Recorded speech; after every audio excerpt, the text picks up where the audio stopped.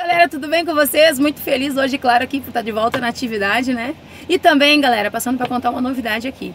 Tô muito orgulhosa aí de um parceiro meu daqui do canal, do Facebook, do Instagram, que é o aplicativo de cargas da Sontra Cargo, que começou com nós aqui, galera, quando o canal era desse tamanho e cresceu junto com a gente aí. A Sontra tá trabalhando em prol dos caminhoneiros e agora a Sontra tava fazendo umas atualizações lá para mudar todo o aplicativo. E graças a Deus e graças a Sontra, agora nós podemos contar com uma nova versão do aplicativo. O linkzinho mudou, a partir de agora, linkzinho novo da Sontra aí, tá bom, gente? Acompanhe as publicações aí no Insta e no Facebook, de vez em quando um videozinho aqui no canal para vocês.